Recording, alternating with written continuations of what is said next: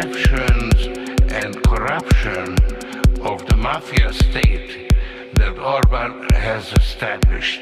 Has established.